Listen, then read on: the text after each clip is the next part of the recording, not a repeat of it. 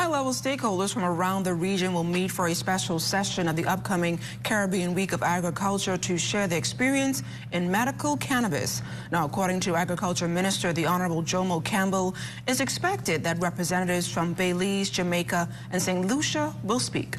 And we are encouraging anyone who has an interest in growing medicinal cannabis to join us either in person or virtually for this event.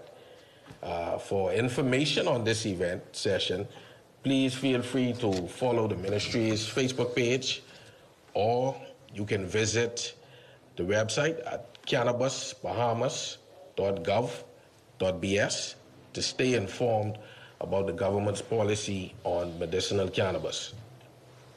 The government this time is still welcoming any feedback via this website.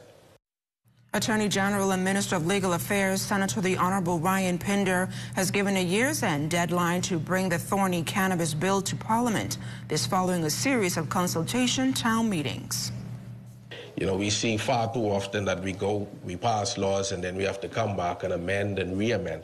So that is why it's important for us, and that's why the Caribbean Week of Agriculture is important in this session in particular, because we wanted to get it as right as possible. We know perfection is sometimes a far-fetched idea, and hope springs eternal, but we want to get it as right as possible before we bring it to the Bahamian people to Parliament. Hello, everyone. I'm Fern Carey. Thank you for watching our YouTube page. Be sure to like, comment, and subscribe for all things ZNS.